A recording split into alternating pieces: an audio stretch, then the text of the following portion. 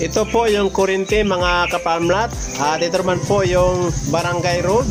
At ang kalsada nito ay papunta po dyan sa Manila East Road. Estimated po ay nasa mga 2 kilometers po lamang. Yan. At ito naman po yung property na ating kuhanan ng video. At good morning Philippines, morning friends. Pupunta tayo doon sa baba mga kapamlat. At narito na po tayo sa gitna ng property mga kapamlat. At sa mga bago po sa ating YouTube channel, para po updated kayo sa lahat ng video na ating ina-upload, ay huwag kalimutan na mag-subscribe. Yan. Ito po yung area. Yan. Iniikot ko po yung camera para po makita nyo yung ating magandang property. Ito po ay flat mga kapamlat at mga 10% po yung hindi po flat.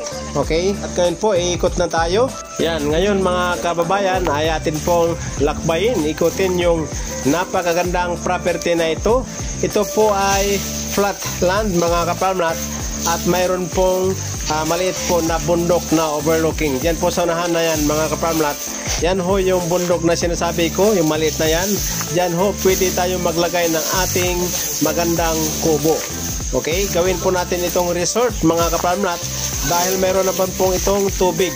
At ang kagandahan nito ay malapit lang po sa Manila East Road. Estimated po ay nasa mga 2 kilometers po lamang. Yan. At ang lupa na ito ay para po sa mga nagtatanong ng wala hong pananim pa. Yan, marami po mga nagtatanong ng mga wala pang gaanong pananim mga kapamlat kasi po gusto nila sila po yung magtatanim. Yan, exercise po yan. Pag kayo na po yung mag-develop, kayo na po maglagay ng mga iba't ibang prutas at gulay. At ang total na lot area nito ay 1 hectare. Ito po ay titulado, may kuryente, may supply po ng tubig. Diyan mamaya po makita nyo yung tubo at malakas po yung signal ng ating cellphone. Ang ating location po ay Morong Rizal. Yan, estimated po mula dito hanggang Antipolo ay makukuha lamang po ng 30 minutes. Ganun lang po siya kalapit. At napansin po nyo, yung mga damo ay matataba dahil po sa uri ng lupa, buhaghag at maitim. Okay? Ideal po ito sa mga gulay at prutas. Yan po, tingnan mo yung sample. Yan, buhaghag po siya na maitim mga kapamlat. Kaya po napakaganda nito na lagyan ho ng ating mga vegetable at mga prutas. Yan. At ngayon po, papasalaan ko lang ng video. Yan. Ito po yung sinasabi kong maliit na bundok mga kapamlat na mayroon po mga pananim ng saging. Yan no. Yan ho yung kasama pa sa property.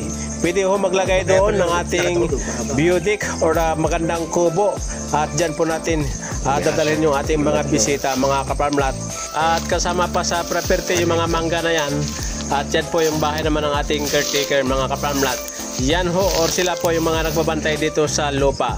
At ngayon po ay pakita namin sa inyo yung tulay at yung right of mga 50 meters lang po. At ngayon mga kapamlat, ay bababa tayo para po makita nyo yung maliit po na tulay na yan ho ay right of papunta po dyan sa kalsada. Estimated po ay nasa mga 50 meters lang po yung kanyang distansya mga kababayan.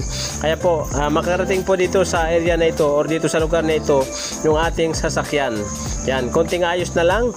At atin naman po tingnan yung tubig dito. Yan po yung mga tubo. Yan po ay galing sa mga bukal.